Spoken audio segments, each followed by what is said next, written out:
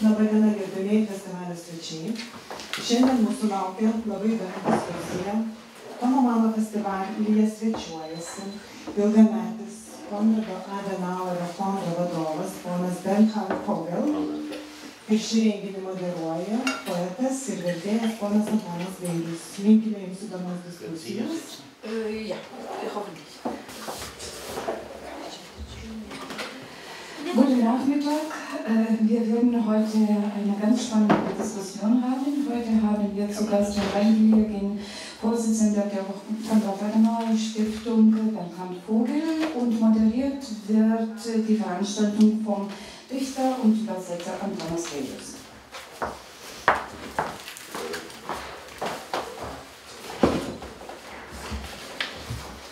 Labas vakaras, ar laba popietė, guten Tag. Nesu labai mėgėjas girtis savo pažintimis, bet noriu pasakyti, kad mūsų pažintis su ponu Fogeliu prasidėjo nuo picos valgymo Vilniuje. Ich äh, bin nicht äh, großer Freund davon, äh, mich mit meinen Bekanntschaften zu brüsten. Aber äh, heute kann ich sagen, dass unsere Bekanntschaft mit Herrn Vogel in Vilnius beim Pizza-Essen äh, angefangen hat. Ja. Nuo tos, nuo tos picos aš ir svajojau ir kuratoriume pradėjome kalbėti, kad labai norėtumėm poną Fogelį turėti mūsų renginiuose. Und äh, von dieser Pizza, seit dieser Zeit mit der Pizza träume ich davon und wir haben auch die, das Gerede im Kuratorium angefangen, dass es sehr schön wäre, Herrn Vogel hier bei uns äh, bei der Veranstaltung zu haben. Yra. Und wir sind äh, sehr froh, dass er dieses Jahr äh, mit uns ist. Tiems klausytojams, kurie yra iš Vokietijos, aš net nedrįstu pono Fogelio pristatinėti. Ich, ich traue mich nicht mal, Herrn Vogel für diejenigen Besucher äh, vorzustellen, die aus Deutschland kommen. Aš manau, kad jie visi tą pavardę vienaip ar kitaip yra girdėję. Ich bin sicher, dass alle Sie auf eine oder andere Weise diesen Namen bereits gehört haben. Tiems klausytojams, kurie yra iš Lietuvos ir tikrai netiek daug žino apie, apie poną Fogelį. Für den Teil des Publikums, der aus Litauen ist und in der Tat nicht so viel über Herrn Vogel wissen kann, Galiu pasakyti tik tai keletą tokių trumpų punktų. könnte ich ein paar kurze, knappe Punkte nennen. Nes visos biografijos, jeigu pradėčiau pasakoti, tai mes tada jau galime po to skirstytis, ne, užimtų visą laiką. Wenn, wenn ich angefangen, anfangen würde mit, der ganzen, mit dem ganzen Lebenslauf, dann würde das die ganze Veranstaltung hier nehmen. Wir konnten danach einfach nach Hause gehen. Derzeit gewiss nicht. Uh, ponas Bernardas Fogelis, uh, teisybė, vieną, vieną dalyką yra, jau, jau pasakė Lina, yra jau buvęs ilgametis Konrado Adenauerio fondo pirmininkas ir dabar garbės pirmininkas. Eine Sache hat die Geschäftsführerin des, des Thomas Mann Kulturzentrums bereits genannt, dass Herr Vogel der Vorsitzende, langjährige Vorsitzende der Konrad-Adenauer Stiftung war und jetzt Ehrenvorsitzender ist. Bet to tikrai nepakanka. Aber das reicht bei weitem nicht. Ponas Vogelis yra lietuviams jau geriau žinomo, pavyzdžiui, Helmuto, Helmuto Kolio amžininkas, kartu su juo daręs politiką, iš esmės nuo studijų laikų, jeigu aš teisingai suprantu. Eine Sache musste man unbedingt hinzufügen. Herr Vogel ist Zeitgenosse von dem den Litauen ganz gut bekannten Helmut Kohl. Die haben zusammen Politik gemacht und insofern ich informiert bin, kennen sie sich seit den Studienjahren. Ponas Vogelis yra buvęs dviejų Vokietijos žemė ministras pirmininkas. Herr Vogel war äh, Ministerpräsident. Ministerpräsident von zwei Bundesländern. Ir apie pirmą, pirmoji buvo Reinaldas, Par, Reinaldas Parcas, tai paprasčiau, bet kas, man atrodo, mums lietuviams turėtų būti įdomiau, nuo 1092 metais jis tapo Turingijos ministrų pirmininku. O tai reiškia, kad ryžosi eiti į tarnybą buvusioje Rytų Vokietijoje. Das erste Land war Rheinland-Pfalz. Das ist einfach, was viel spannender für uns Litauen sein könnte. 1992 wurde Herr Vogel Ministerpräsident in Thüringen. Das heißt, er hat sich getraut, in der ehemaligen DDR tätig zu sein. Ir paskutinis dalykas, tikrai ne paskutinis, manau, pono Fogelį, bet mano kalboje. Und das letzte, nicht das letzte überhaupt über Herrn Vogel, sondern von mir jetzt. Ponas Fogelis kurį laiką buvo, mums vėl keistai skambės, Vokietijos katalikų centro komiteto pirmininkas. Herr Vogel war eine, einige Zeit Vorsitzender der äh, des, des Zentralkomitees Deutsche Katholiken. Der Zentral? Oh, ja. tai tiek įvadai. Aš tikiuosi, kad visi turėsim daug malonumo iš pranešimo. Soweit meine Einführung und ich hoffe sehr, dass wir sehr, sehr viel Spaß bei dem Vortrag haben werden. Galbūt neturite lietuviško vertimo, nes to.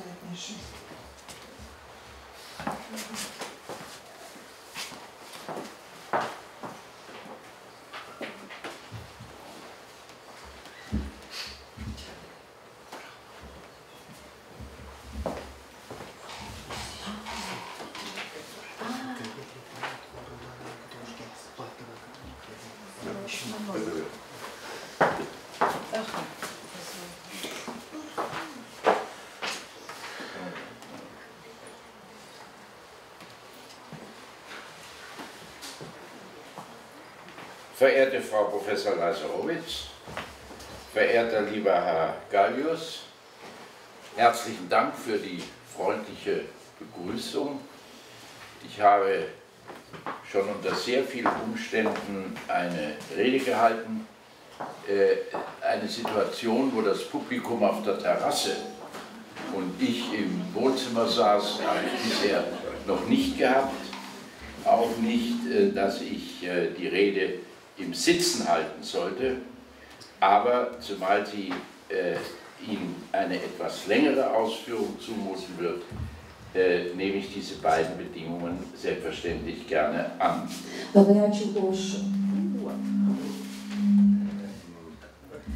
Ačiū už pristatymą.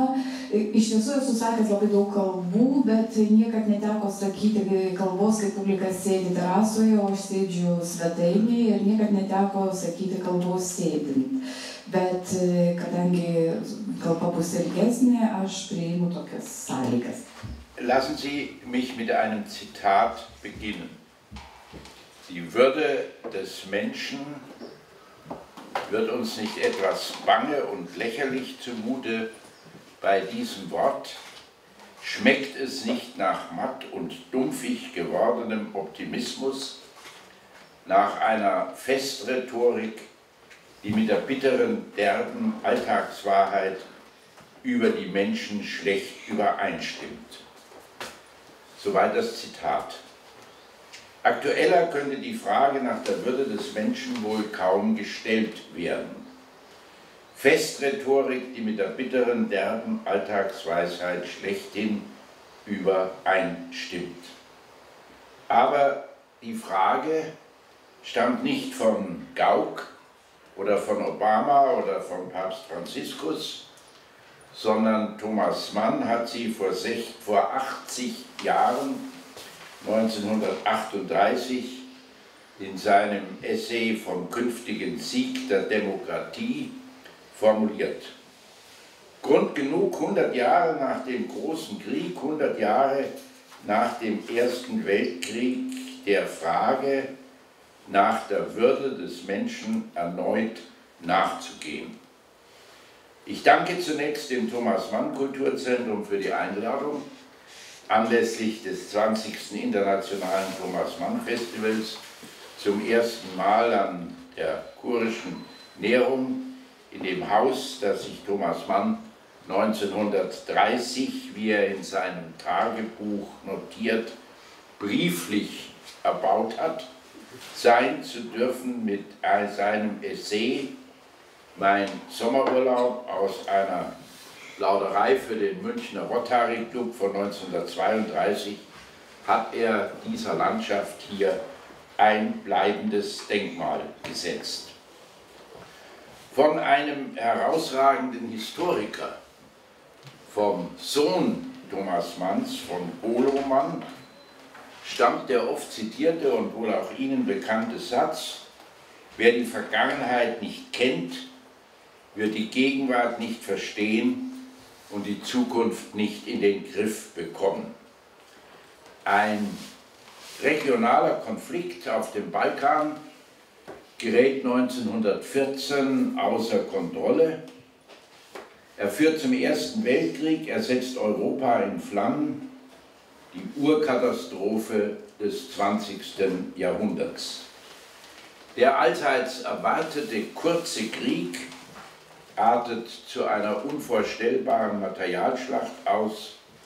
Es kommt zu einem brutalen Stellungs- und Grabenkrieg und zu Recht ist in diesen Tagen an Verdun, wo 800.000 Soldaten fielen oder verwundet wurden, und an die Schlacht an der Somme, wo über eine Million Freier äh, fielen oder verwundet wurden, erinnert worden.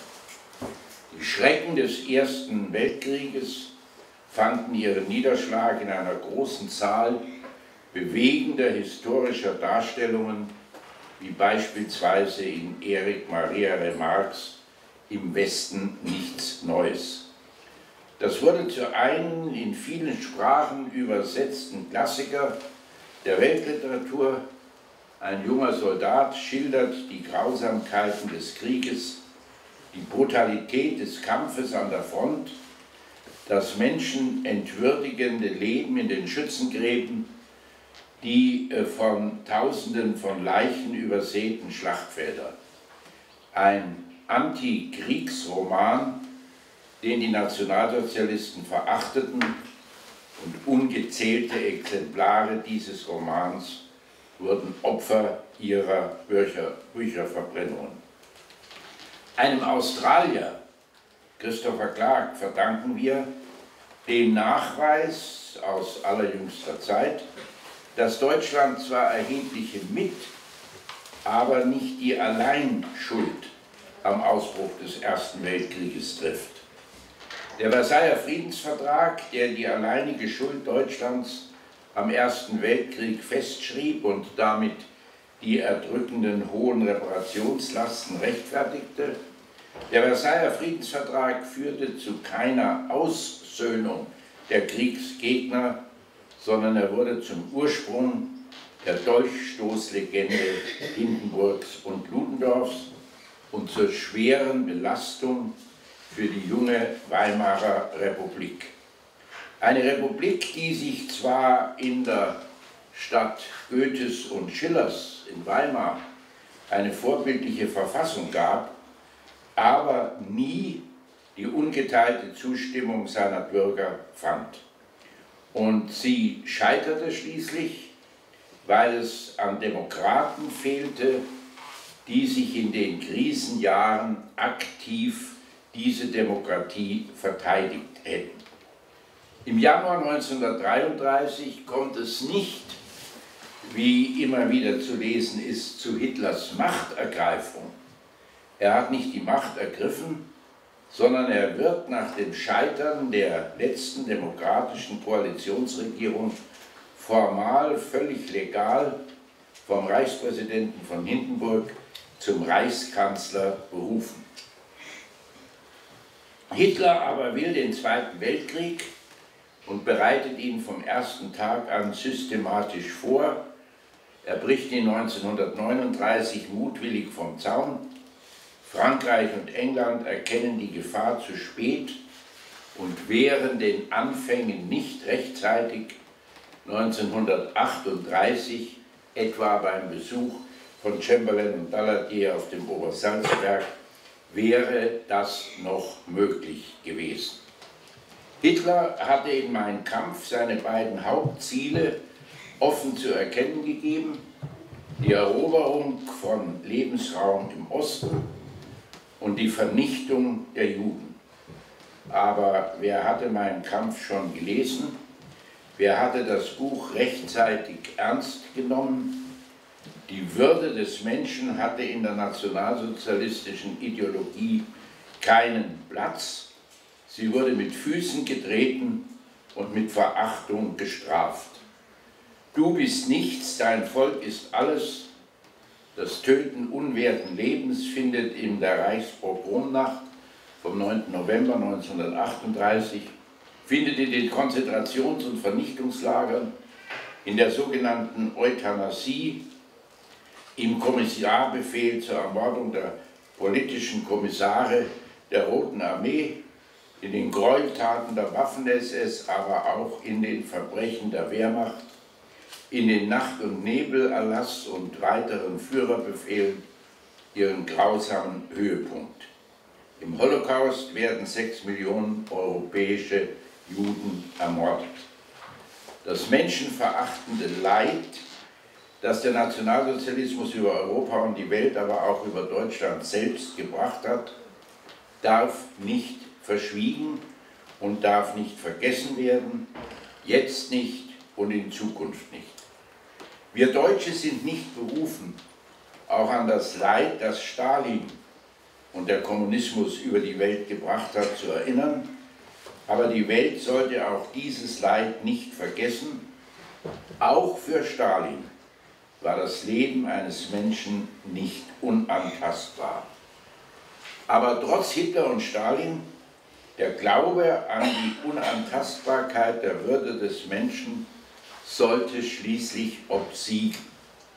Am 8. Mai 1945 endet die nationalsozialistische Gewaltherrschaft, endet für uns Deutsche der Zweite Weltkrieg Deutschland und halb Europa liegen in Trümmern. Hunger und Elend bestimmen den Alltag. Millionen von Flüchtlingen und Vertriebene sind unterwegs. Für mich und wohl für meine Generation, die den Krieg noch als Kind erlebt hatte, war der 8. Mai 1945 vor allem der Tag des Kriegsendes.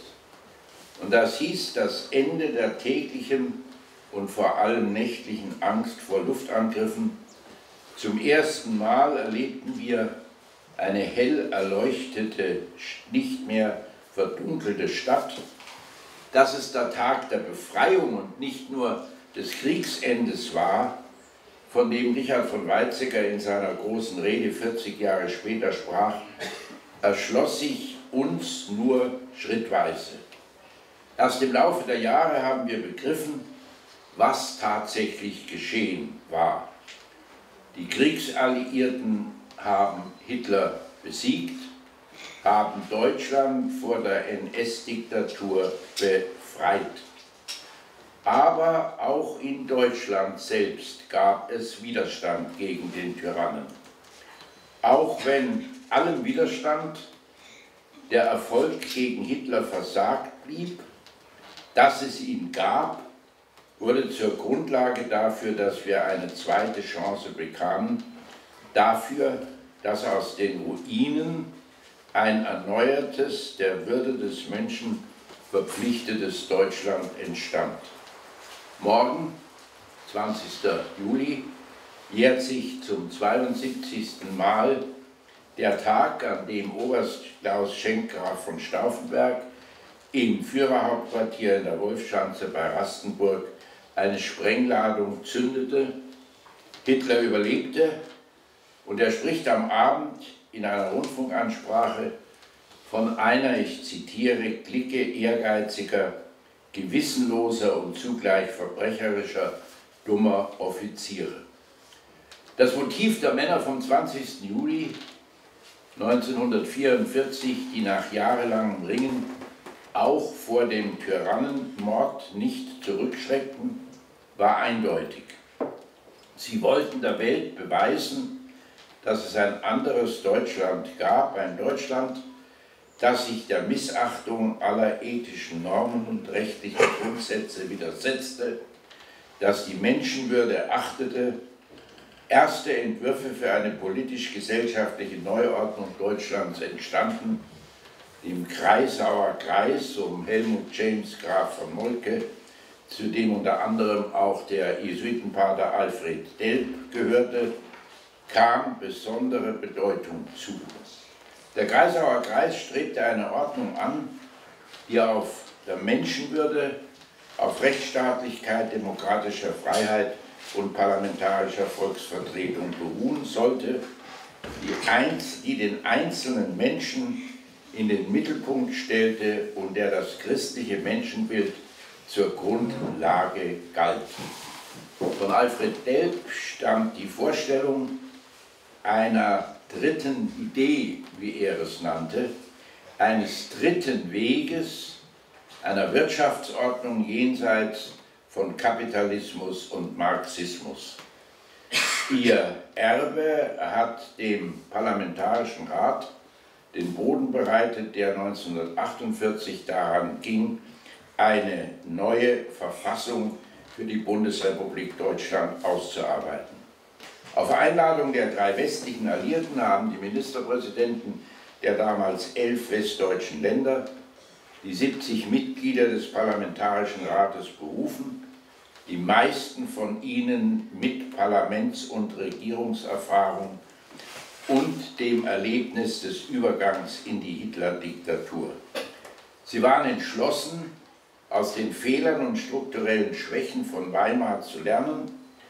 In erstaunlich kurzer Zeit formulierten sie eine Verfassung, das Grundgesetz, das zunächst nur für den freien Teil Deutschlands Gültigkeit erlangen konnte, aber 41 Jahre später auch den wiedererstandenen Ländern der ehemaligen DDR den Beitritt ermöglichte. Die Würde des Menschen ist unantastbar, sie zu achten und zu schützen ist Verpflichtung aller staatlichen Gewalt. So lautet der erste Satz des ersten Artikels, er ist der Kernsatz des Grundgesetzes, durch die Ewigkeitsklausel des Artikels 79 jeder Änderung auch durch eine noch so große Parlamentsmehrheit entzogen. Er und das Bekenntnis der Präambel zur Verantwortung vor Gott und den Menschen enthalten das zentrale Bekenntnis der neu gegründeten Bundesrepublik.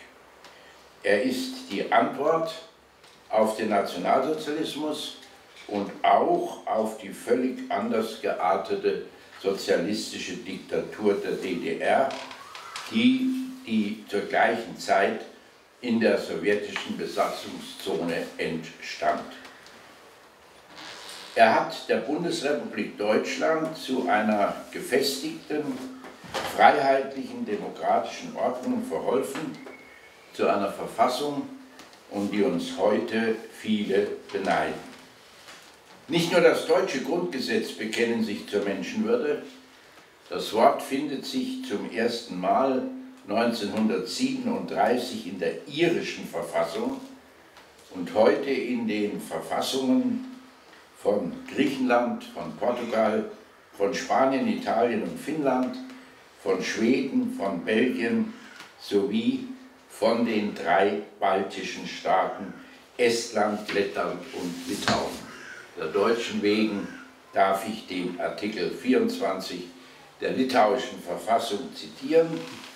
Die Persönlichkeit des Menschen ist unantastbar, die Würde des Menschen ist gesetzlich geschützt, es ist verboten, Menschen zu foltern, körperlich zu verletzen, ihre Würde herabzusetzen, grausam mit ihnen umzugehen, sowie Strafen äh, solcher Art zu verhängen. So Artikel 24 der litauischen Verfassung. In der Allgemeinen Erklärung der Menschenrechte von 1948 heißt es, alle Menschen sind frei und gleich, an Würde und Recht geboren, mit Vernunft und Gewissen begabt, sollen sie einander in Brüderlichkeit begegnen. Und um das Diktum von Goloman, um an dieses Diktum, das ich zitiert habe, zu erinnern, die Vergangenheit ist beim Besuch, Versuch, die Zukunft in den Griff zu bekommen, nicht aus den Augen verloren worden. So schlimm diese Vergangenheit war, die Vergangenheit ist der Grund dafür, dass ein Neues begonnen worden ist, von dem ich spreche. Aber zurück zu Thomas Mann und zu seinem Zitat.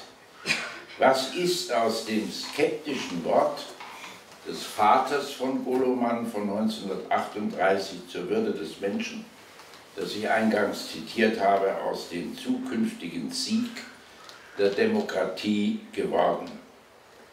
Ich wage es nicht, schon gar nicht hier in diesem Haus, mir ein Urteil über das politische Werk des von mir hochverehrten großen Dichters anzumaßen. Die gelehrte Debatte darüber füllt inzwischen Bibliotheken von Thomas Elwein bis Joachim Fest und bis in unsere Tage. Ich halte mich hilfsweise anstelle eines eigenen Urteils an den Münchner Historiker Horst Möller und zitiere ihn, die politische Entwicklung Thomas Manns ist widersprüchlich, nicht nur in chronologischer Hinsicht, nicht allein in Bezug auf 1918 und 1922, vielmehr behalten seine Äußerungen zur Politik etwas spielerisch Changierendes. Soweit Möller zu Thomas Mann. Auch zu Deutschland ist Manns Einstellung nicht ohne Widersprüchlichkeit. Er hing an seinem Vaterland, indem er es zu höchsten Ehren gebracht hatte, zum Literaturnobelpreis 1929 beispielsweise. Er litt an Deutschland, das ihn ins Exil gezwungen hatte. Er verachtete Deutschland, das Deutschland des Nationalsozialismus und Hitlers wegen. An seiner Abscheu gegenüber dem Nationalsozialismus besteht kein Zweifel, schreibt Möller. Thomas Mann kehrt nie dauerhaft nach Deutschland zurück. 1949 entschließt er sich nach langem Ringen, nach 16 Jahren, nach Jahren der Entfremdung, wie er selbst es beschrieben hat, zum ersten Mal wieder Deutschland zu besuchen, zu Goethes 200. Geburtstag. Er kommt in ein geteiltes Land und schied wie sein Tagebuch es belegt, mit sehr gemischten Gefühlen. Zitat, Gefühl, als ob ich in den Krieg ginge. So notiert Thomas Mann in einem Zürcher Hotel vor seiner Abreise. Dass er dennoch zurückkehrte nach Deutschland, erklärt Thomas Mann damit, dass es ihm, ich zitiere ihn, unmöglich schien im Jahre der Feier von Goethes 200. Geburtstag in England, Schweden, Dänemark und der Schweiz über Goethe zu sprechen, nur nicht in Deutschland. Zitat Ende.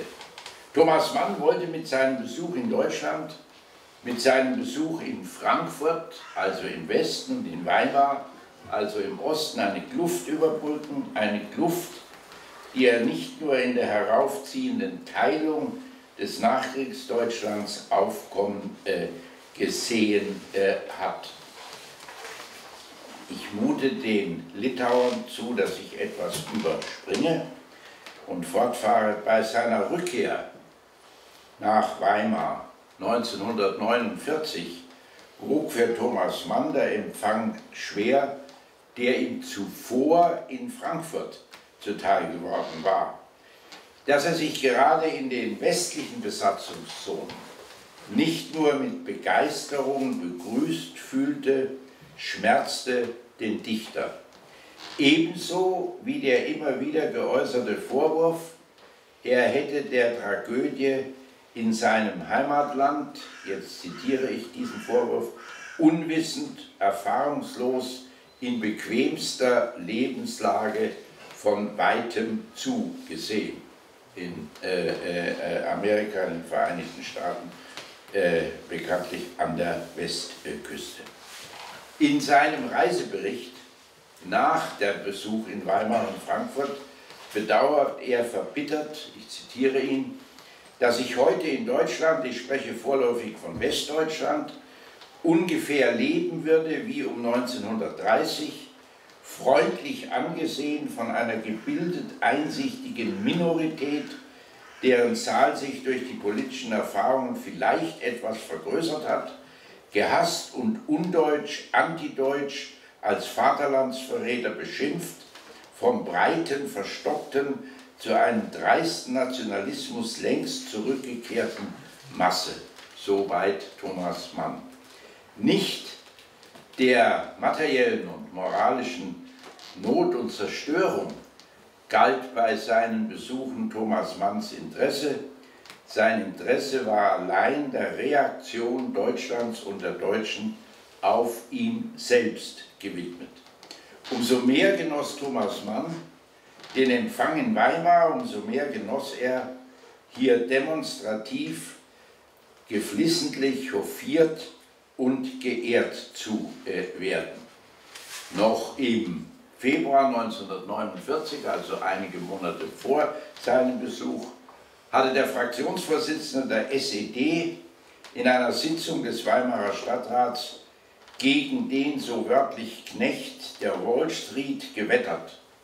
Erst ein Telegramm des Kulturbundvorsitzenden Johannes R. Becher hatte den Parteifunktionär zur Raison gebracht und den Beschluss der Stadt zur Verleihung der Ehrenbürgerwürde an Thomas Mann ermöglicht.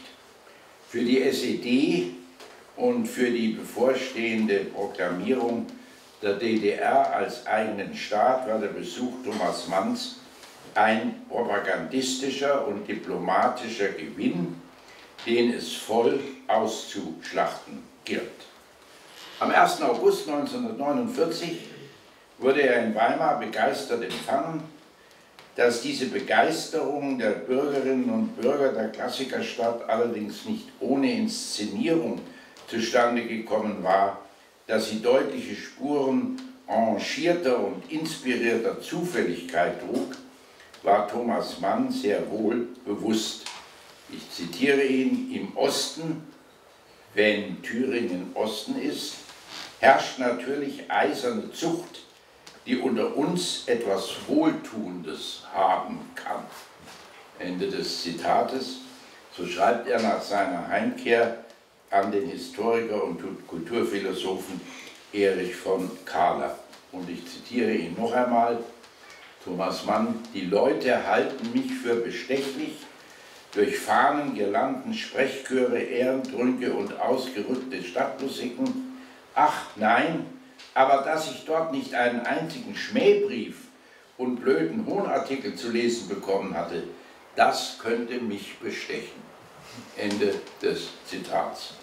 So sehr ihm die Inszenierung seines Besuches bewusst war, Thomas Mann bewies in Weimar bei mehreren Gelegenheiten, dass er, seiner Gastgeber, dass er seinen Gastgebern tatsächlich ein Stück weit auf den Leim gegangen war, dass er die realen Verhältnisse kaum richtig einschätzte oder nicht richtig einschätzen wollte. Einen schwedischen Journalisten belehrte er in einem Brief, dass es sich in Thüringen nicht um ein reines Einparteienregime handle. Nicht Kommunisten, nicht Kommunisten saßen in Regierungen, noch mehr im Stadtrat und der Bürgermeister der Stadt sei ein christlicher Demokrat.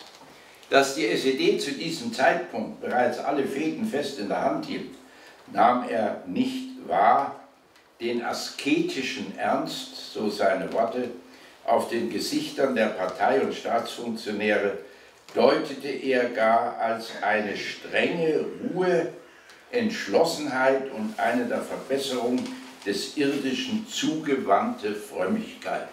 Eine Verbesserung des Irdischen zugewandte Frömmigkeit. Soweit Thomas Mann. In seinem Reisebericht notiert Thomas Mann begeistert, in der Ostzone sorge der Staat für die geistigen Arbeiter, wenn sie nicht geradezu stören, und die Prominenten unter ihnen werden gehegt und gepflegt. Und er fährt fort, der russische Kommunismus weiß die Macht des Geistes wohl zu schätzen und wenn er ihn, äh, und wenn er ihn reglementiert und in den Schranken des Dogmas hält, so muss man eben darin den Beweis dieser Schätzung sehen. Ohne sie würde, es sich weniger, würde er sich weniger um ihn kümmern.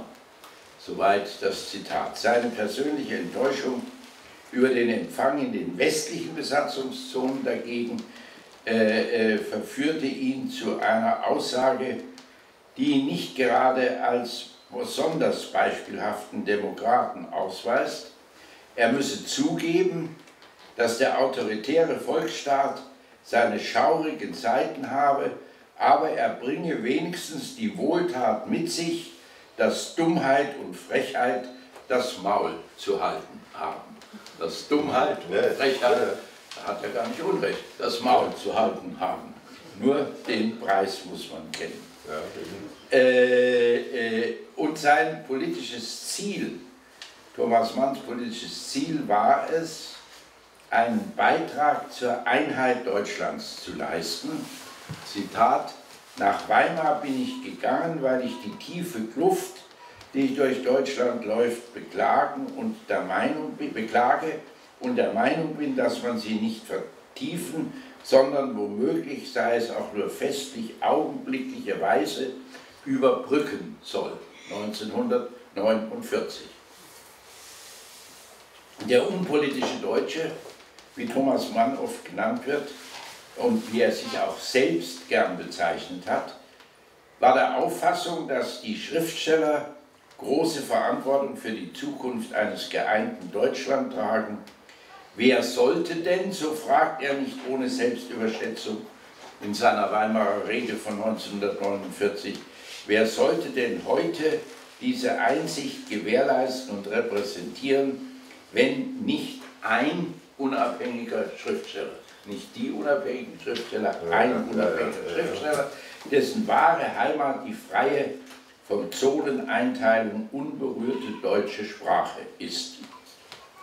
Wie die Gegensätze des Kalten Krieges politisch tatsächlich überwindbar wären, wie die Menschheit aus der tiefgreifenden Krise einen Ausweg finden könnte, darüber machte sich Thomas Mann kaum Gedanken.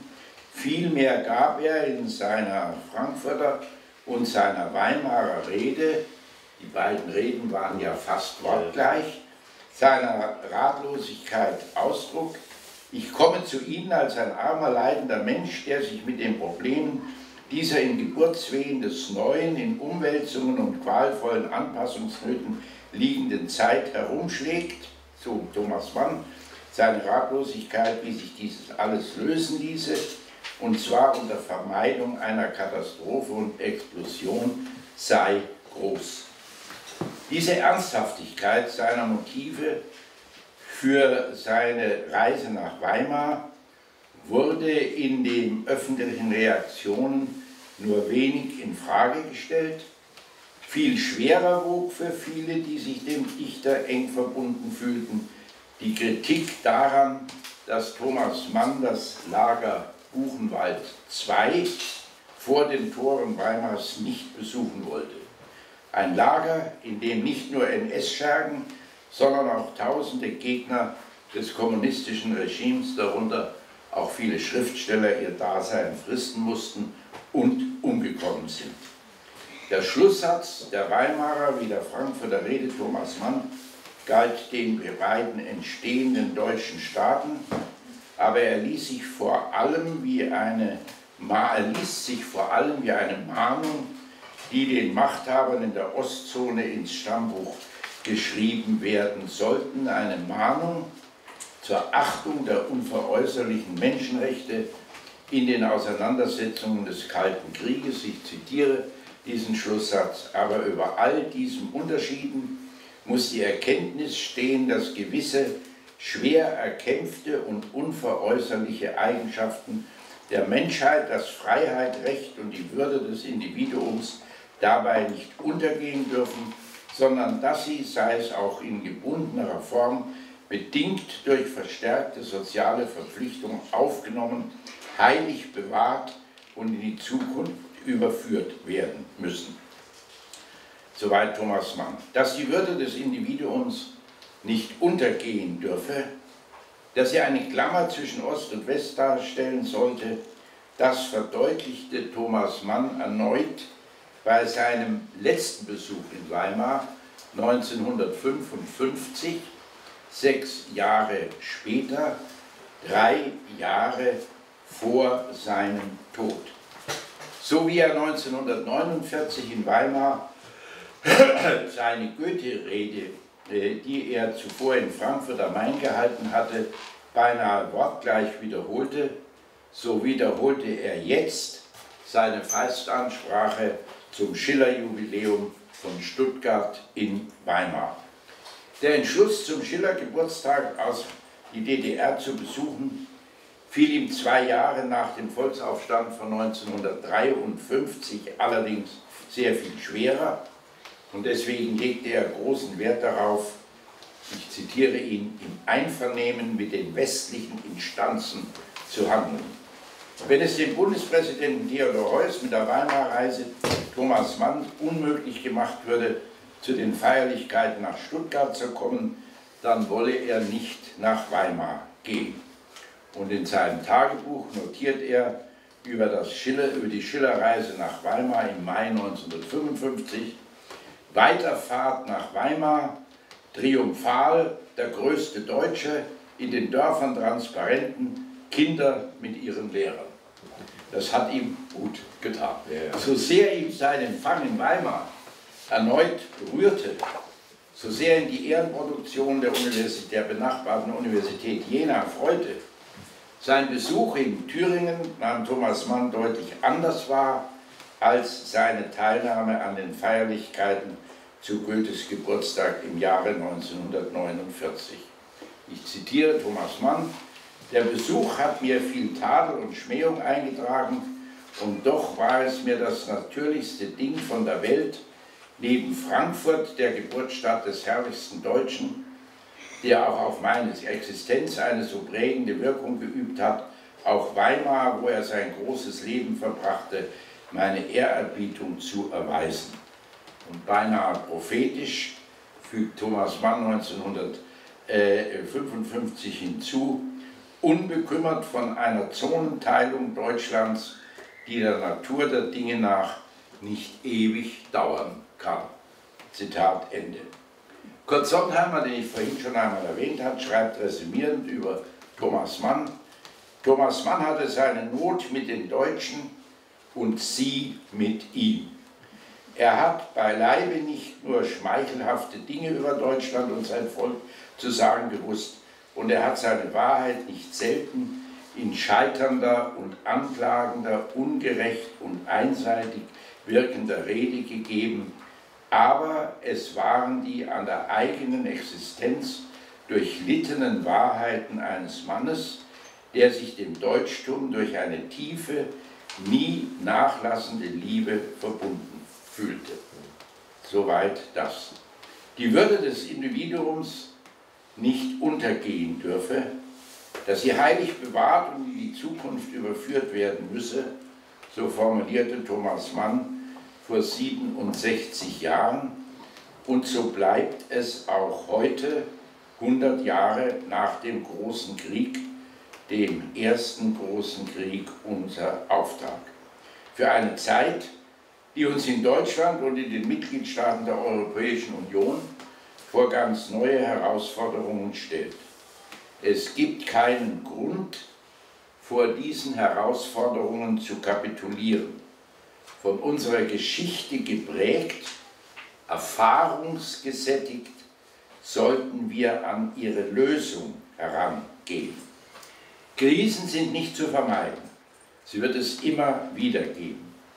Aber man darf ihnen nicht ausweichen, man muss sie meistern.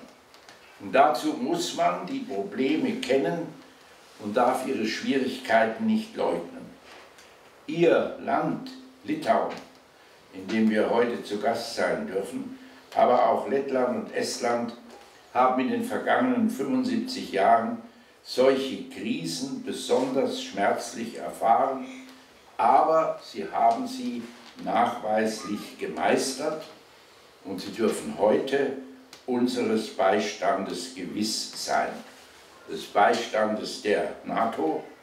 Ich begrüße ausdrücklich, dass eine der vier Kampfeinheiten von Deutschland geführt hier in Litauen stationiert wird, aber auch des Beistandes der Europäischen Union dürfen Sie gewiss sein. Auch deswegen brauchen wir ein, eine zukunftsfähige Europäische Union. Die bedauerliche Entscheidung Großbritanniens darf nicht zur Resignation führen, sie muss im Gegenteil zu einem neuen Aufbruch führen. Die Europäische Union muss besser werden, sie muss sich reformieren, sie muss sich erneuern, um ihre Zukunft sichern zu können. Ein Weitermachen wie bisher darf es nicht geben, es langt nicht, dass wir uns zu Recht immer wieder auf unsere gemeinsamen Wurzeln, auf unsere gemeinsamen abendländischen Wurzeln berufen bei jeder Festansprache. Gegenwart und Zukunft Europas müssen wir gemeinsam gestalten, sonst wird die Würde des Menschen keine Zukunft haben. Europa heißt Frieden, Europa heißt Zukunft, Europa heißt, die Würde des Menschen ist unantastbar. Entscheidend ist, dass wir einer, zu einer gemeinsamen Außen- und Sicherheitspolitik, zu einer gemeinsamen Wirtschafts- und Finanzpolitik führen, finden.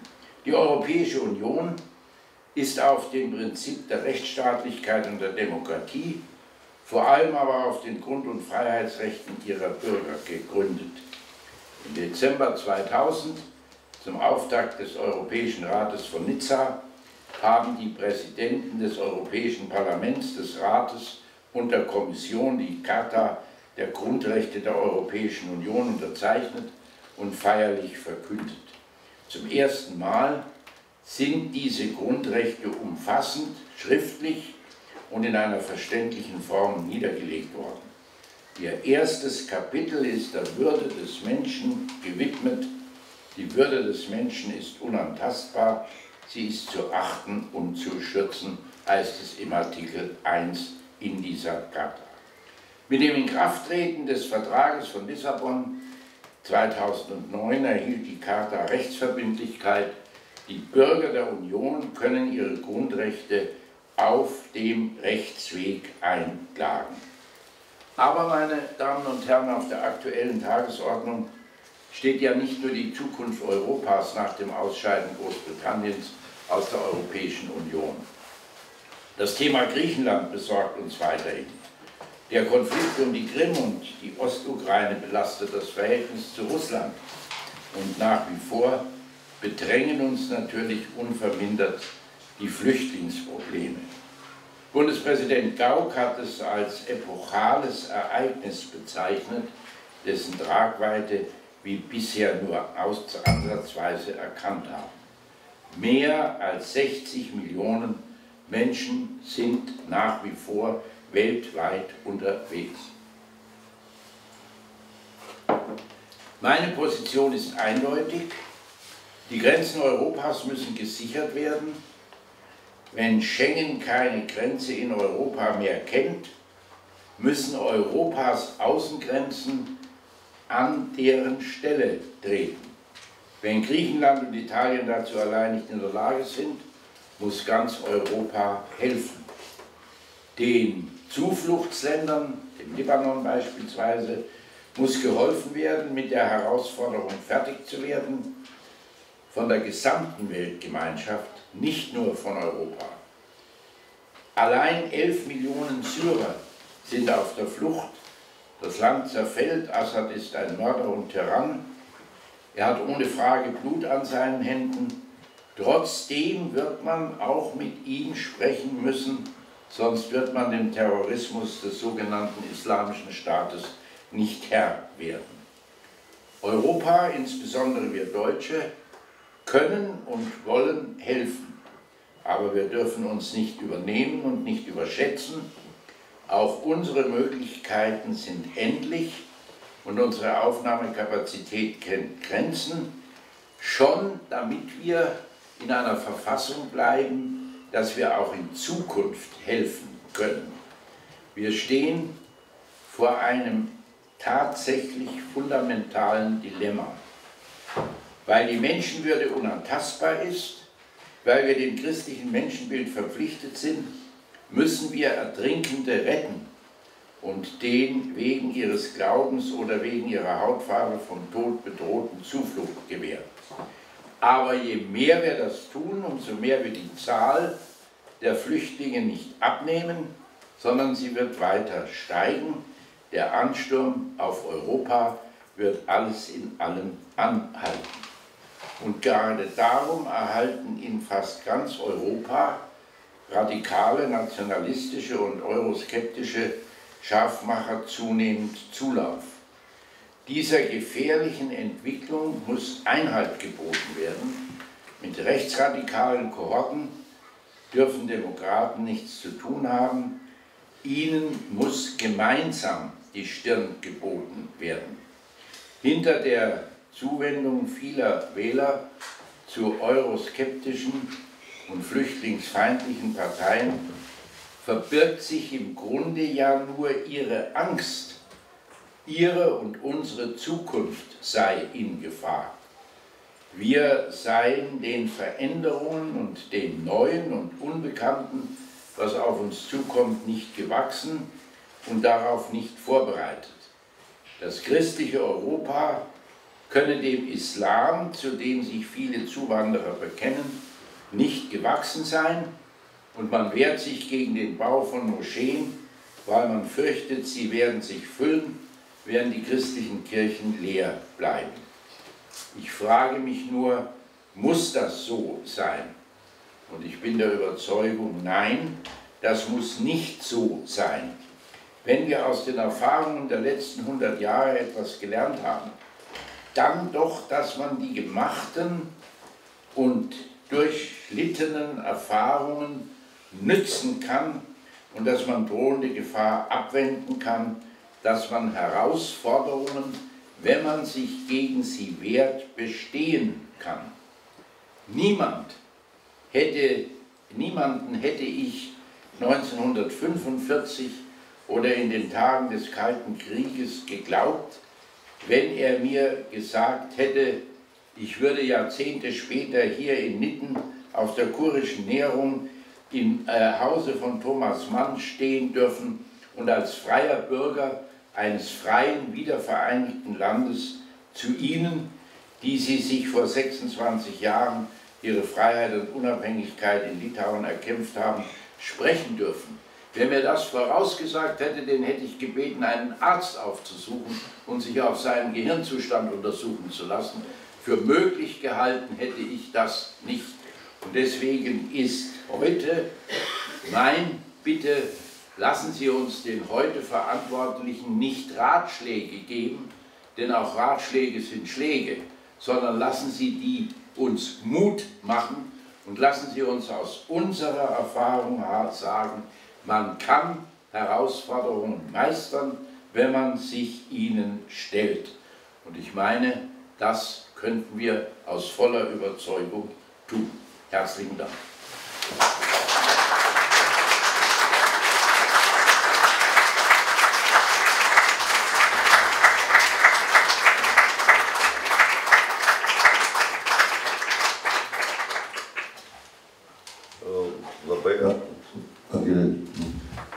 ačiū už bent man pačiam labai be galo įdomų ir, ir turiningą pranešimą. Vielen Dank für diesen wenigstens für mich sehr interessanten und inhaltsreichen Vortrag.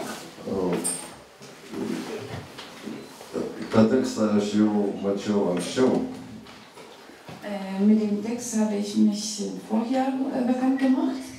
Ir, ir pats savo sakiau, aš turiu tik tai klausimų ir klausimų ponui Fogeliui. Und ich habe äh, gleich gedacht, ich habe Fragen über Fragen an Herrn Vogel. Žinoma, negalėsiu jų dabar visų čia pasakyti pats, jo labiau, kad norėčiau palikti ir publikai laiko ir, ir, ir vietos paklausti. Gewiss äh, werde ich nicht alle Fragen hier stellen können, umso mehr, dass äh, die Zeit auch fürs Publikum, fürs, äh, für Publikumsfragen gegeben sein sollte. E, Ne man ir reikėtų klausti apie dalykus, kurie susiję su Vokietijos istorija ar net ir su Tomo Mano e, laikysena e, pokario Europoje. Äh, ich bin nicht derjenige, der äh, Fragen, sollte, Fragen stellen sollte über Fragen verbunden mit äh, deutscher Vergangenheit oder mit der Geschichte von Thomas Mann. Bet vieną klausimą tai tikrai būtinai turiu užduoti. Aber eine Frage muss ich unbedingt stellen. Kodėl ponas Vogelis taip paprastai, atvirai sako, žmogaus orumas yra neliečiamas. Wieso äh, behauptet Herr Vogel ganz einfach und unverblumt, äh, die Würde des Menschen ist unantastbar? E, Prieš kokį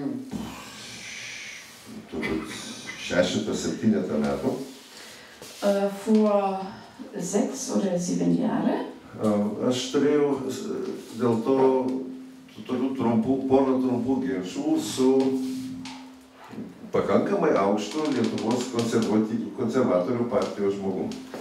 äh, habe ich äh, Auseinandersetzungen, ziemlich starke Auseinandersetzungen gerade deswegen gehabt mit einer äh, großen, ziemlich großen Figur der litauischen Konservativen. E, Tie du, susiti, du susitikimai buvo skirtingi, vienas privatus, Und es, es gab zwei äh, Begegnungen, beide unterschiedlich. Eine Begegnung war äh, rein privat. tai buvo toks malonus vakarėlis, kuriame mes su to žmogu susitikom ir jis man iš karto kaip didelį pasiekimą sako, nu va, ir krikščionis demokratus pavyko įtikinti, kad prigimtinio žmogaus orumo nėra. Na, es war eine, eine angenehme Partystimmung. Wir sind ins Gespräch ge- gekommen und er behauptete dann äh, ziemlich gleich, ja, siehste, äh, wir haben es geschafft, auch äh, Christendemokraten zu überzeugen, dass es keine angeborene Würde des Menschen existiert. Šiek tiek po kokio pusmečio man teko, reiškia, Konrado Adenauerio fondo tokią brošiūrėlę išversti kaip tik apie, apie tai. Jį vadinasi žmogaus orumas, centre ir žmogaus orumas. Mm, Und äh, nach einem halben Jahr äh, äh, habe ich äh, eine Broschüre von, äh, herausgegeben von, äh, von der Konrad Adenauer Stiftung übersetzt. Äh, Es ging gerade darum, um die Menschenswürde und der Titel war Menschenswürde im Mittelpunkt, glaube ich. E, Im Mittelpunkt Menschenwürde. Ja. Tai ir mes per tos knygos pristatymą vėl su tuo pačiu politiku turėjome dėl to paties reikalo ginčytis. Und äh, bei der Präsentation dieses Buches haben wir wieder mal eine Gelegenheit gehabt, mit demselben Politiker darüber bereits öffentlich äh, uns zu streiten. Aš turiu savo prielaidas, kodėl Lietuvoje taip galima galvoti. Ich habe da meine Vorahnungen, meine Gedanken, wieso man in Litauen so denken kann. Aber ich hoffe sehr, dass Herr Vogel sehr wohl versteht, wieso ich diese Frage gerade an ihn stelle. Also, äh, warum auch immer. Ich könnte jetzt äh, mit dem Hinweis auf einen äh, Menschen antworten, der 47 Kilometer von hier entfernt darauf eine Antwort gegeben hat, nämlich Kant in Königsberg. Äh, ich will es aber ganz einfach sagen, weil die Leugnung der Würde des Menschen uns zu den größten Katastrophen der Menschheit geführt hat. Das ist der Grund, dass man, wenn man sie leugnet, Verhältnisse hat, wie sie in Südafrika herrschen, Verhältnisse hat, wie im Nationalsozialismus herrschen, Verhältnisse hat, wie sie im Stalinismus herrschen. Äh, äh, ich könnte das weiter ausdehnen. Die sind doch alle begründet darin, dass die Würde des Menschen, des anderen geleugnet wurde und dass ihm keine Bedeutung zukam. Das ist für mich der Grund, warum. Lassen Sie den Präsidenten. Achso, Entschuldigung. Kad ir, kad ir kaip ten būtų, e, atsakydamas aš galėčiau remtis e, žmogumi gimusiu ir gyvenusiu 47 km nuo čia, būtent Manuelio kantų, tačiau aš galiu atsakyti labai paprastai. Mm, Dėl to, kad e, žmogaus orumo neįgymas yra visų didžiųjų katastrofų priežastis. Kaip tik dėl to, kad neigiamas žmogaus orumas, turime tokią situaciją, kokia dabar yra Afrikoje, tokia situacija, kokia buvo nacionalsocializmo metais. Ir e, šitą sąrašą aš galėčiau e, tęsti ir tęsti būtent dėl to, e, at, stalinizmo nusikaltimai irgi dėl to. Ir e, būtent dėl žmogaus um, orumo neigimo, būtent dėl to, kad jis nepripažįstamas, susidaro e, situacija, tokios situacijos. Punkt, ja, okay. Uh, Antrasis mano klausimas irgi būtų, aš siūlau pradėti publiką galvoti apie savo klausimus. Aš tikrai nekankinsiu vien savaisiais. Bet dar vieną klausimą būtinai noriu užduoti, gal dar vieną paskui. Uh, mes kalbame, jūs uh, labai gražiai sakote, kad uh, Lietuva turi tokius kraštus kaip Lietuva, uh, turėtų ir NATO palaikyti, ir Europos Sąjunga ir džiaugiatės, kad Vokietijos batalionas bus Lietuvoje. Äh, Ich äh, möchte das Publikum anregen, über äh, Ihre Fragen nachzudenken. Ich werde jetzt äh, höchstens eine oder zwei Fragen stellen, aber eine Frage muss ich unbedingt loswerden.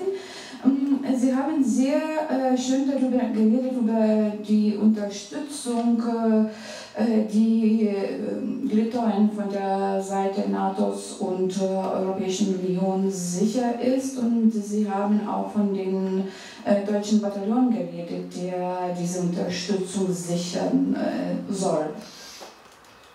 Bet e, mes Lietuvoje, čia aš kalbu ir savo, ir, ir šiaip Lietuvos e, rūpestis. E, Mes Lietuvoje čia pat išgirstame, kaip Vokietijos užsienio reikalų ministras prieš NATO viršūnių susitikimą ir prieš sprendimus dėl to bataliono čia pat sako, ne, ne, ne, ne, mes neturėtumėm čia tankais ir ginklais žvanginti. E, O kadangi mes čia esame, reiškia, už 5 km nuo vietos, kur tikrai ginklai žvanginama, tai mums darosi tada neramu. Ką jūs galėtumėte apie tai pasakyti? Und das ist nicht nur meine Sorge, sondern die Sorge des ganzen litauischen Landes. Einerseits wird diese, diese Unterstützung zugesichert, andererseits hört man äh, den deutschen Außenminister vor der NATO-Spitze sagen, dass eigentlich nicht unbedingt äh, Waffen als Argument anführen soll. Es es gibt auch andere Art und Weise. Wir sind gerade in der Gegend, äh, gute fünf Kilometer von der Gegend entfernt, wo man wirklich die Waffen äh, gerne anführt als Argument. Äh, mh, dann möchte ich äh, Ihre Meinung dazu hören. Äh, ausgesprochen gerne. Also zunächst will ich mal sagen, die verbindliche Meinung für Deutschland formuliert die Bundeskanzlerin, nicht ein einzelner Minister. Labai mielai atsakysiu šitą klausimą. Pirmiausia, ką norėčiau pasakyti, kad tikroji oficialioji nuomonė, e, Vokietijos pozicija sakoma e, federa- federalinės kanclerės, o ne kokio nors atskiro ministro. Allerdings ist es richtig, äh, dass die deutsche Außenpolitik zwei äh, ganz wichtige Ziele im Auge haben muss. Tačiau labai svarbu, kad Vokietijos m, e, užsienio politika turi neišleisti iš akių m, du pagrindinius, dviejų pagrindinių tikslų.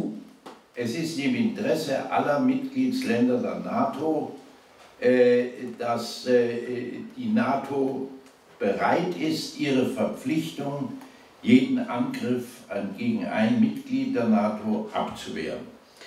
Tai toks yra NATO interesas. NATO, suinteresuota tuo, kad ji iš karto galėtų atsakyti į bet kokį pasikeisinimą į kurią nors iš šalių narių. Kad būtų tas pasirengimas. Ich weiß natürlich, dass man mit 4000 Soldaten alleine einen ernsthaften Angriff nicht abwehren kann. Aber ich weiß, und die Reaktion belegt das ja auch, dass es zumindest ein Zeichen setzt, wir schlafen nicht, sondern wir sind hellwach. Aš puikiai suprantu, kad 4000 kareivių negali atremti užpuolimo ar e, piktų kėslų, tačiau kaip ir e, reakcija rodo į šį veiksmą, vien tas faktas e, yra gyvas pavyzdys, kad mes nemiegame, mes esa- esame pasirengę, mes galime imtis veiksmų. Dabei darf aber ein zweites nicht übersehen werden. Wir Deutsche und alle NATO-Mitglieder sind daran interessiert, äh, dass der Dialog mit der Sowjet, mit, der, mit, mit Russland, mit Russland äh, äh, äh, nach wie vor gepflegt und nicht zum Einfrieren gebracht wird. Wir müssen uns bemühen, im Gespräch zu bleiben. Wer redet, wer miteinander redet, cheats nicht aufeinander. Ir kitas dalykas, kurio negalėt pamiršti, tiek Vokietija, tiek visos NATO šalis yra suinteresuotos, kad dialogas su Rusija būtų palaikomas, vyktų ir toliau, kad jis neužšaltų, e, ne- ne- nenugrimstų užmaršti. Ir reikia prisiminti, kad e, tie, kurie tarpusavėje kalbasi, tuo metu vienas į kitą nešaudo. Es besteht kein Zweifel, äh, Russland hat das Völkerrecht gebrochen. Was in der Ostukraine und auch was in der Krim geschehen ist, kann nicht stillschweigend durch Zeitablauf akzeptiert werden. Ir nėra jokių abejonių, kad Rusija pažeidė tautų teisės ir tai, kas e, vyksta Kryme, kas vyksta rytų Ukrainoje, negali, negalima apie tai tylėti ir negalima manyti, kad laikui bėgiant, bėgant tai bus tiesiog priimta kaip duotybė ir pripažinta.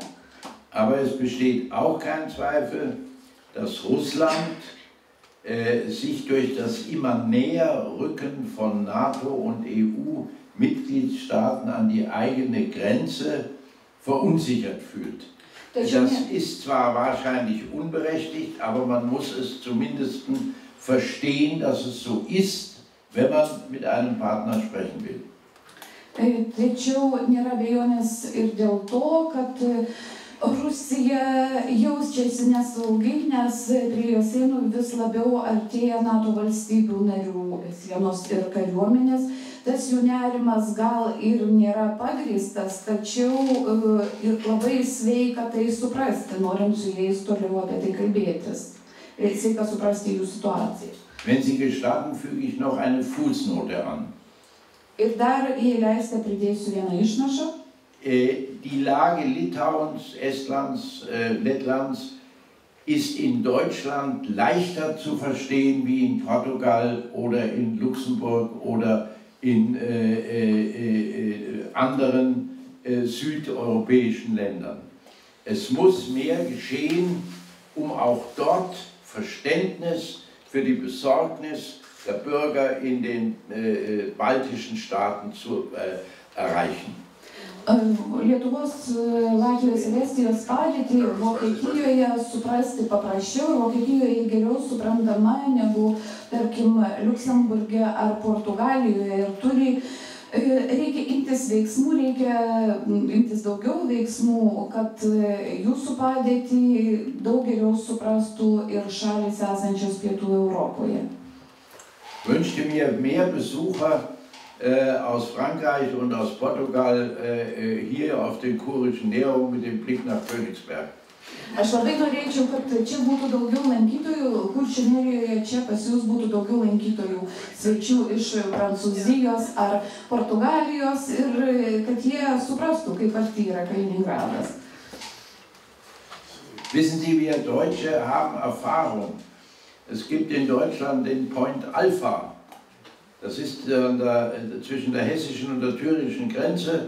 Dort standen sich 40 Jahre amerikanische und sowjetische Truppen auf Augenhöhe gegenüber. Es war eine stetige Gefahr. Und solche Gefahren kann man am besten dadurch bereinigen, dass man auf beiden Seiten die Gefahren beseitigt. Heute ist Point Alpha einer der friedlichsten Orte in der ganzen Bundesrepublik. Žinot, mes Vokietijoje turim tikrai daug patirties. Yra tokia vieta Point Alpha, ta, tarp Heseno ir Turingijos žemių, ten e, ilgus dešimtmečius viena prieš kitą tiesiog gal, galėjau matyti sovietų ir amerikiečių karinės bazės. Ir man reikia, kad pavojų, pavojus gali liautis tik tuo met, kai jis bus šalinamas iš abiejų pusių. Ir iš vienos, ir iš kitos pusės. Šiandien Point Alpha yra pati taikingiausia vieta.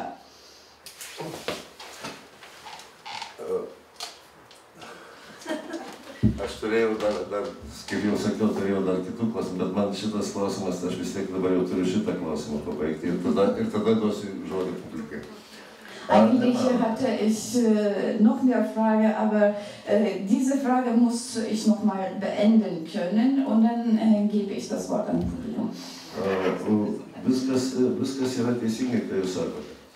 Bet uh, Lietuvoje ir tikrai ne vien Lietuvoje, nuolatos mes svarstome ir mums kyla klausimas, ar jūs šiandien, jūs šiandien paminėjote savo pranešime 38, sakėte, 30, jei 38 metais Prancūzija ir Vokietija ir Anglija būtų kitaip sureagavusios, uh, galbūt Hitleris, uh, galbūt antrasis pasaulinis karas nebūtų prasidėjęs. Sie haben äh, recht äh, mit allem, was Sie bereits gesagt haben, aber. Aber. aber.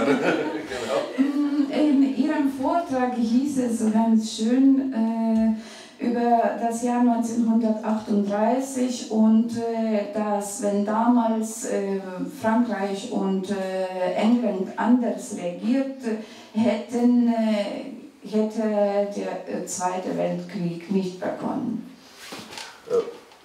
Mes esame. Mm.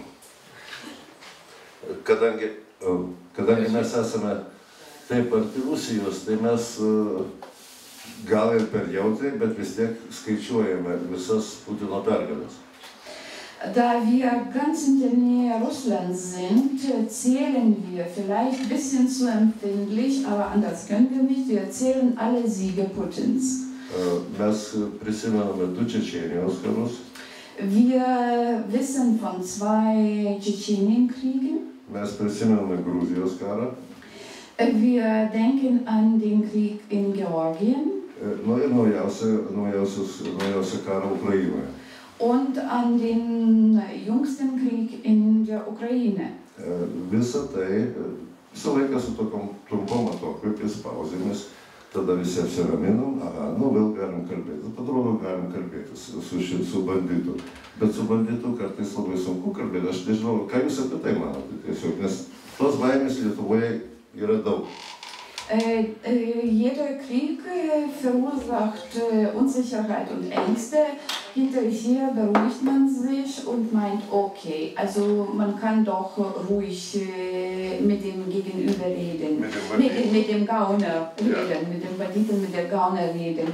Aber mm, mit dem Gauner lässt sich schlecht reden. Und da sieht man doch, was denken Sie dazu? Also zunächst möchte ich äh, Litauen nicht als besonders empfindlich, sondern als besonders betroffen und besonders wachsam bezeichnen. Ich äh, würde sagen, sind Sie nicht empfindlich, aber bleiben Sie wachsam. Ja, tas, tas, Aš apibūdinčiau Lietuvą ne kaip per daug jautriai reaguojančią, bet kaip e, vietą, kurią tie įvykiai labai liečia ir kaip labai budrę šalį. Ir sakyčiau, e, paraginčiau, nebūkite jautrus, būkite budrus. Und nun äh, zu 1938. Äh, das Verhalten äh, von Daladier und Chamberlain, ich komme gleich drauf, äh, hat ja Kriege möglich gemacht und nicht verhindert. Dafür ist es ja das Beispiel.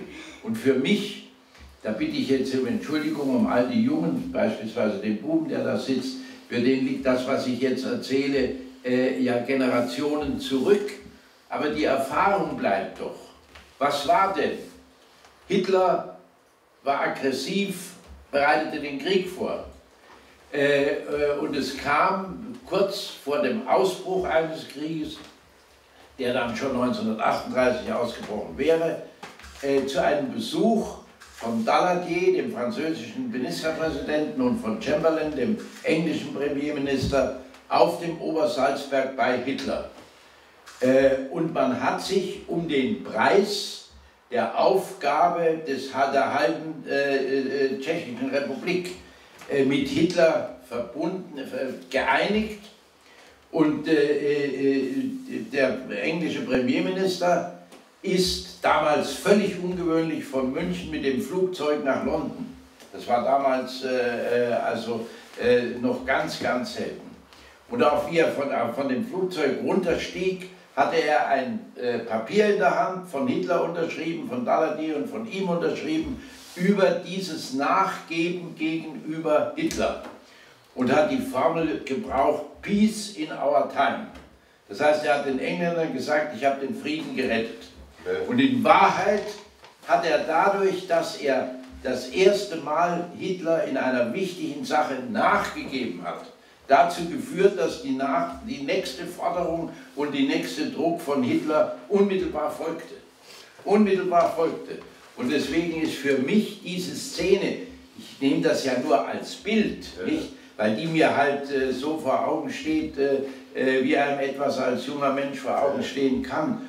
Äh, dieses Bild der Hoffnung, man habe den Frieden gesichert, aber man hat vor einem Tyrannen und vor einem kriegslüsternen Mann kapituliert und damit erst dazu geführt, dass Hitler sich bestätigt gefühlt hat, dass er den Hitler-Stalin-Pakt beispielsweise abgeschlossen hat. Äh, das muss man doch alles mitzählen, da darf man nicht drüber reden, weil in Russland über den Hitler-Stalin-Pakt nicht geredet werden darf. Aber man darf doch nicht vergessen, hier, Sie dürfen doch nicht vergessen, was der Hitler-Stalin-Pakt für eine Bedeutung äh, hatte äh, Molotow und, und, und äh, wie hieß der Sekthändler aus Deutschland, der auch Ribbentrop, ja, äh, Ribbentrop. Also äh, das muss man doch bitte, das muss man doch bitte zur Kenntnis nehmen.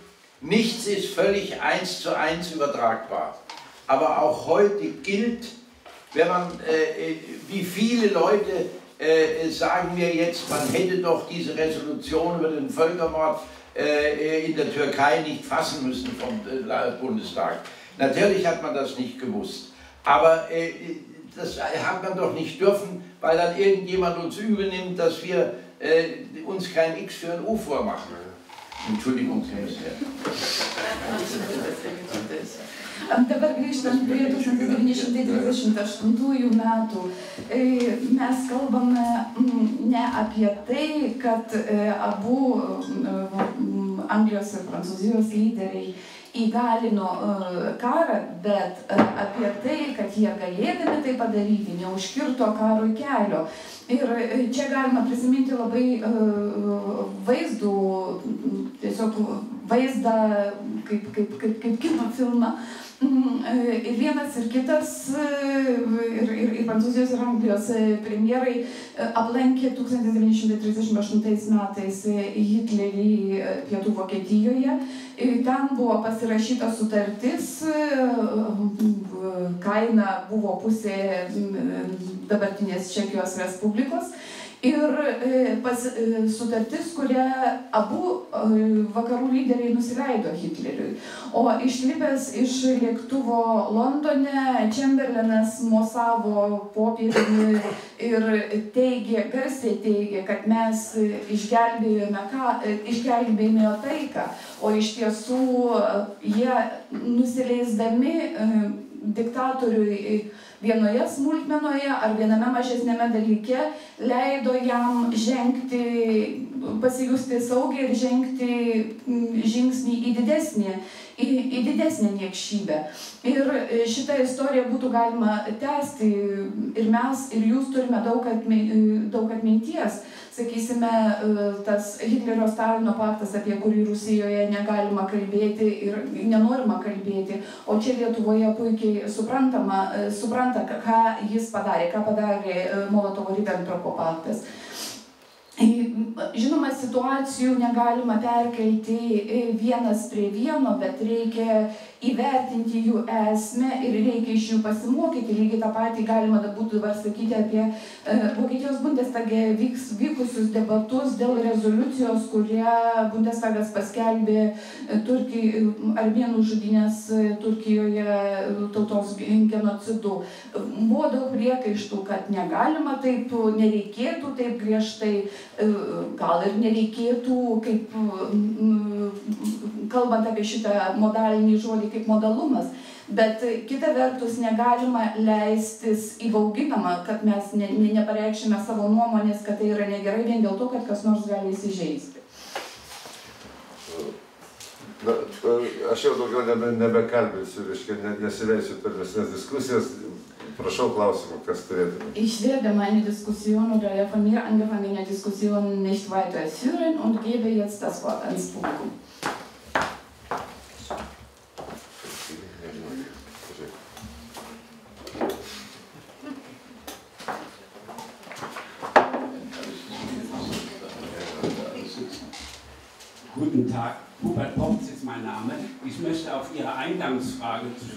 Kommen. Sie haben gefragt, ob Menschenwürde angeboren ist.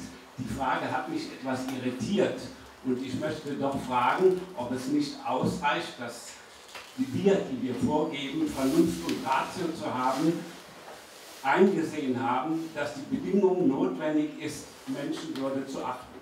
Danke. Das habe ich nicht richtig kapiert, aber was soll's.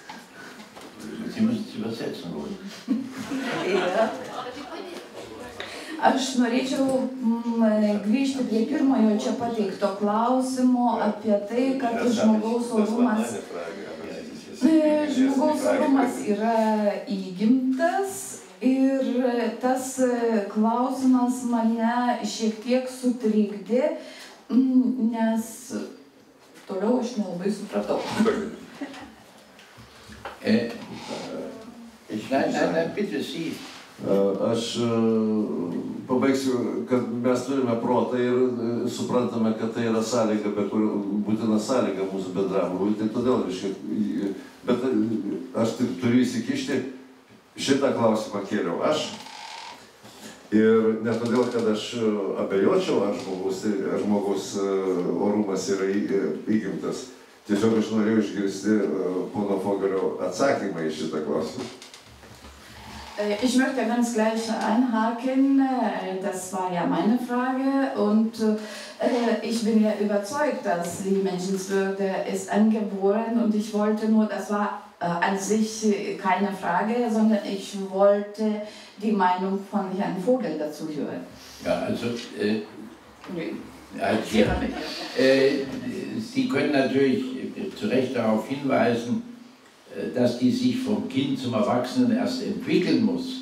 Aber dass sie im Kern vom ersten Tag an angeboren ist, ist meine Überzeugung. Weil vom ersten Tag an gilt, wenn es keine Würde des Menschen gibt, dann äh, gibt es auch keine Schranke der Missachtung des Menschen.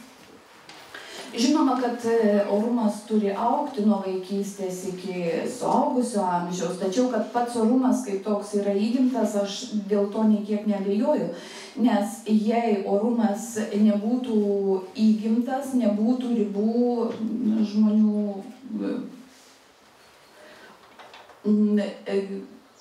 elgesio su žmonėmis ribų, ribų, kurios neleistų žmogaus niekinti.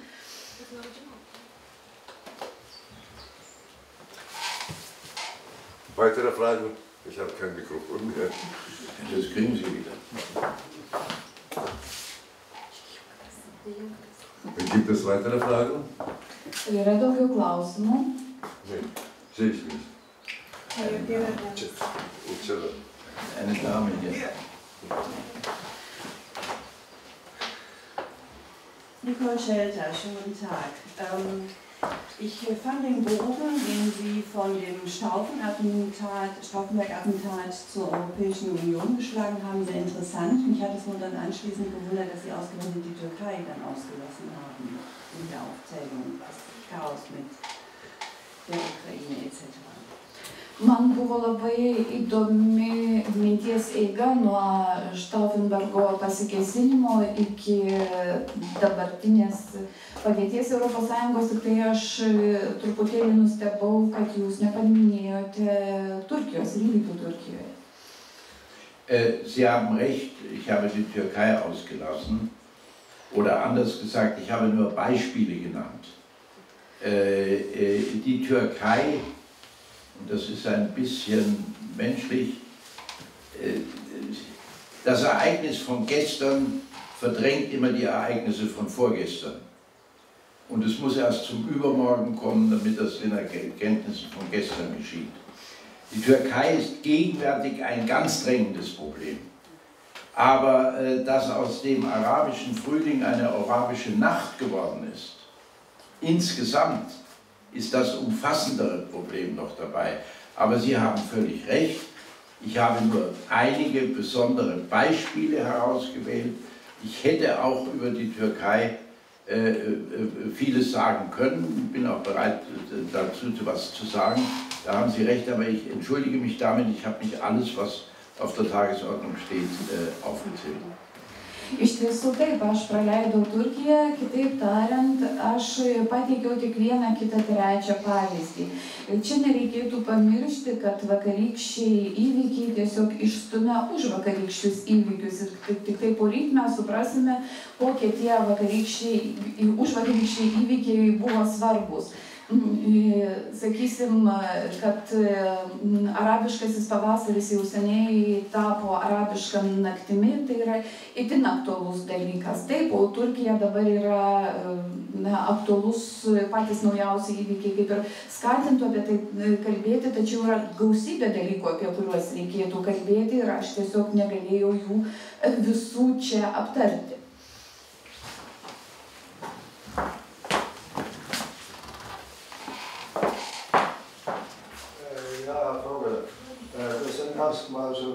Vier Stunden hier.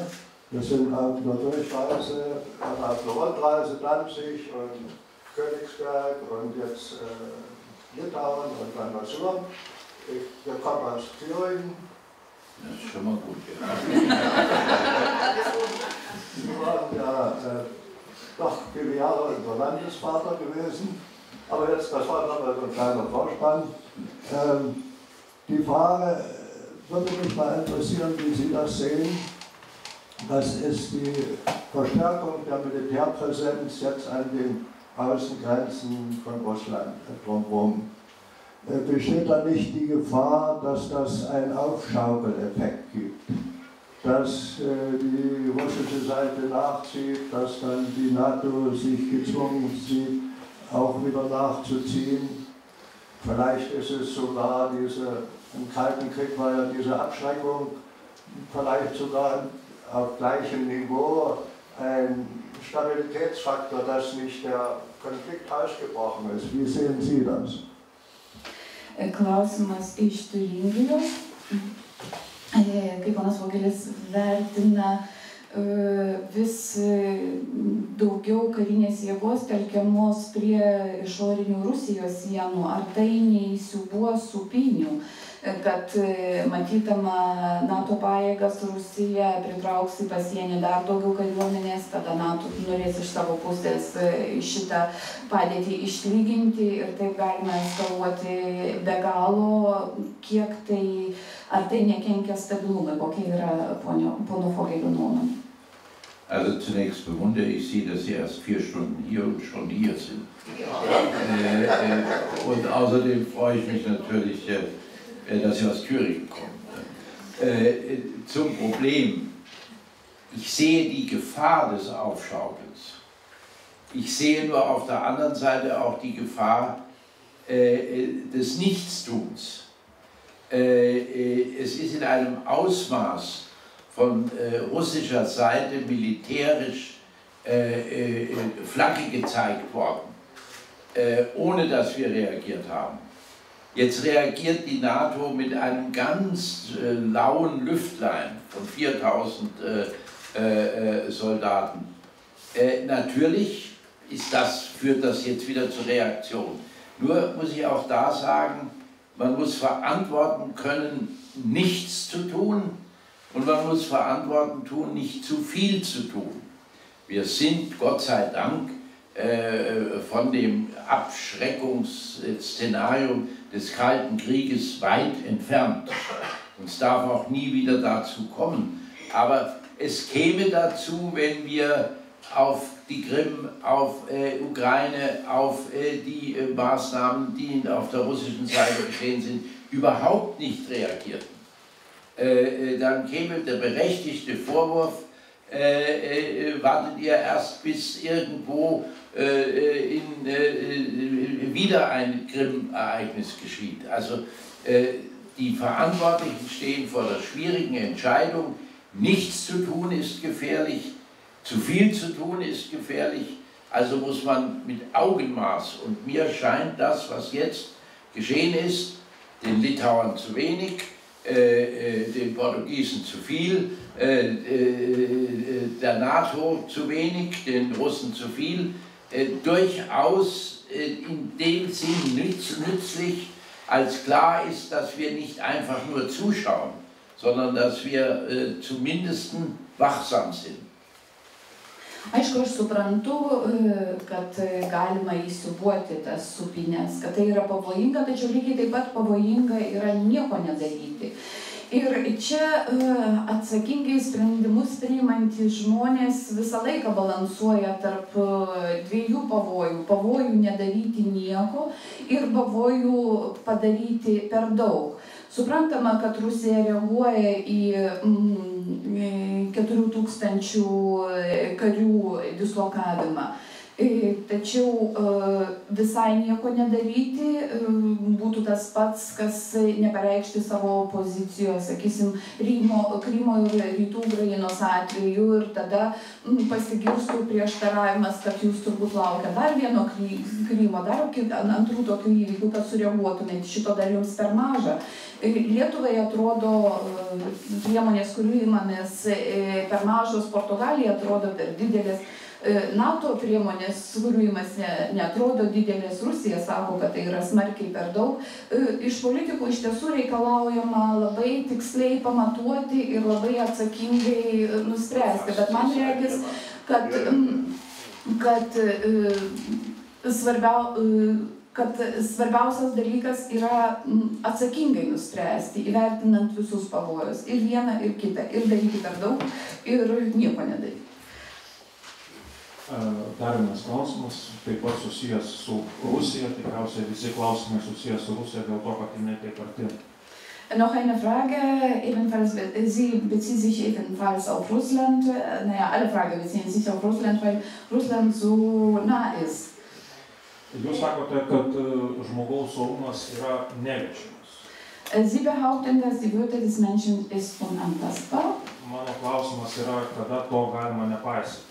Ar yra kaina, kurią būtų galima sumokėti aukojant žmogaus orumą? Ich, meine Frage heißt, wann kann, äh, wann kann das missachtet werden? Wann äh, ist, kann man auf die Würde des Menschen nicht achten? Gibt es äh, eine Grenze, die man überschreiten kann? Gibt es, äh, gibt es Situationen, wo man diesen Preis zahlen kann? Und um, um welchen Preis? Nein. ir kai aš klausiu to klausimo, aš visų pirma turiu omeny Krymą ir Krymo totorių situaciją. Krymo totorių žmogaus orumas šiandien yra pamintas ir tam yra visi pritarę. Und äh, bei dieser Frage denke ich an die Krim und an die Krim-Tataren. Äh, ihre Würde ist äh, heruntergetreten und äh, das, äh, da stimmen alle zu. Also, äh, dass die Würde unabhängig von dem Satz, dass wir überzeugt sind, sie solle unantastbar sein, tagtäglich angetastet wird, da besteht ja kein Zweifel. Tai, kad e, dėl to, kad žmogaus orumas, nepaisant to, kad jis turėtų būti neliečiamas e, kiekvieną, e, kiekvieną dieną, kasdien nukenčia, dėl to nėra jokios abejonės. Übrigens, damit wir uns recht verstehen, nicht nur äh, von äh, Russen in der Ukraine, äh, sondern auch von weißen Polizisten in äh, Dallas, Texas. Ne? Äh, Ir kad e, supraskite mane teisingai, tą orumą e, žaidžia ne tik tai e, Rusai Ukrainoje, bet ir baltieji policininkai Dalase, Teksase.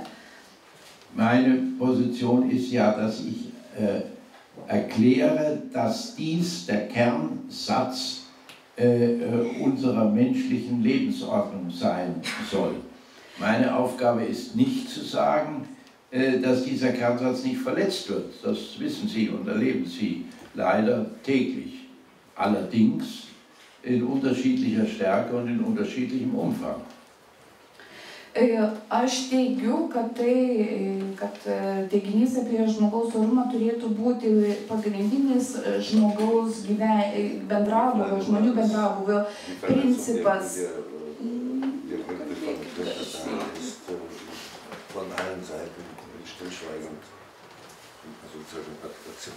Ja, äh, also hier wird gesagt, äh, äh, bei den Krim-Tataren sei das von allen Seiten akzeptiert Das, worden. das war die Frage. Äh, Krim-Tataren fiel hier nicht bei ihm. Doch, doch, doch. Ja, aber ich habe also gut. Natürlich muss man immer überlegen, wie man gegen Verletzungen der Menschenwürde vorgeht. Das haben wir ja gerade vorhin an dem Beispiel Sicherheit und Säbelrasseln gezeigt. Äh, äh, aber das heißt doch nicht, dass man sie leugnen darf. Unter Umständen heißt es, dass man klug damit umgehen muss. Aber wir haben ja gerade durch den Beschluss des Bundestages in der äh, äh, Geschichte da vor 100 Jahren äh, in, in, in, in äh, der Türkei gezeigt, dass wir unter Umständen auch solche Sachen aussagen, wenn sie nicht gelegen sind. Aber dass man natürlich für jedes Wort auch eine Verantwortung trägt und dass man überlegen muss, äh, äh, wir sind zur Wahrheit verpflichtet, aber das heißt nicht, dass man jedem zu jedem Zeitpunkt die volle Wahrheit sagen muss, sondern unter Umständen muss man schonend mit ihm umgehen. Äh, äh, und ist trotzdem, bleibt trotzdem bei der Wahrheit. Ich ja. presse da. Äh, ja. Sakydamas, kad mm, tik tai nekalbėkit čia manęs gerai. kai- kai- čia, nes paskui viskas.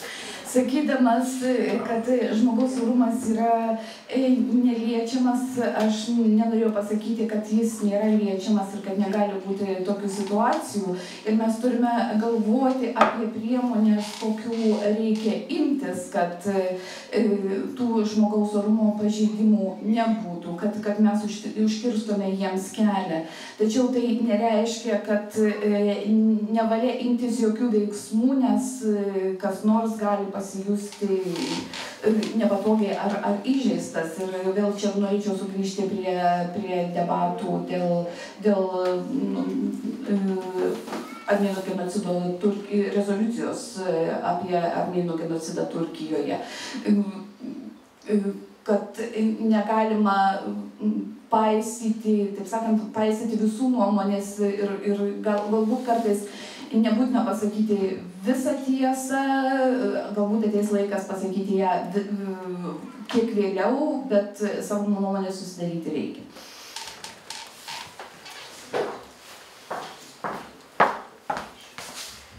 Ma, manau, kad mes jau labai ilgai sėdėjome ir e, būtų.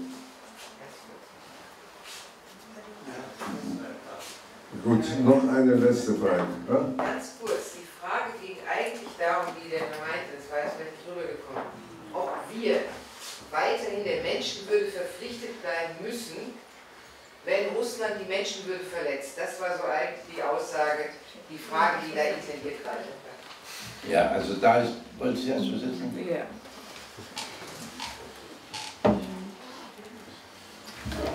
Ar, äh,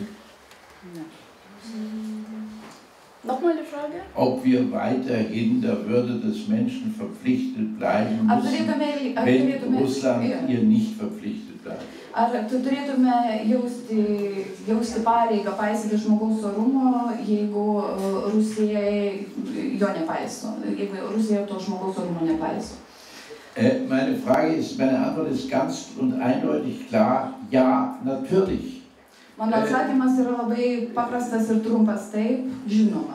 Wobei meine Frage, aber meine Antwort auch beinhaltet, wie man das tatsächlich erreicht, dass die Würde unantastbar ist, ist natürlich abhängig von der Art und Weise der Bedrohung. Aber ich kann natürlich nicht, wenn der andere die Würde des Menschen nicht schätzt, sie selber auch relativieren. Äh, äh, äh, nicht, das wäre, äh, wäre furchtbar, wenn ich das äh, täte. Aber ich muss überlegen, wie ich den, der sie verletzt, dazu bringe, sie zu achten, wie ich dazu mit ihm umgehen muss. Und jetzt sage ich also ein ganz großes Wort. Äh, äh, erst den Alliierten allen zusammen ist es gelungen, die Würde des Menschen auch in Deutschland wieder durchzusetzen, indem sie einen Krieg gegen Hitler geführt haben.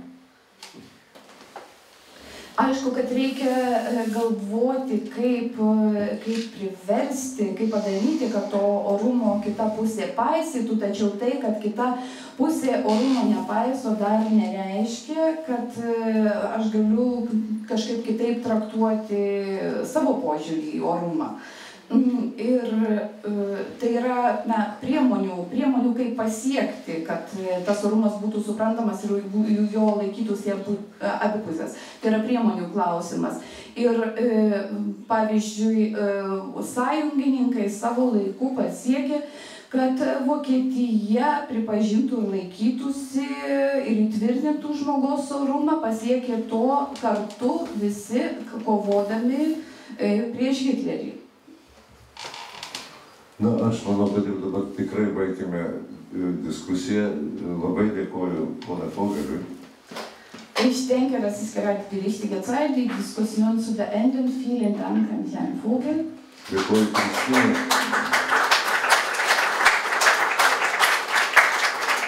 Und bitte an die Dolmetscherin, die ja alles doppelt sagen müsste.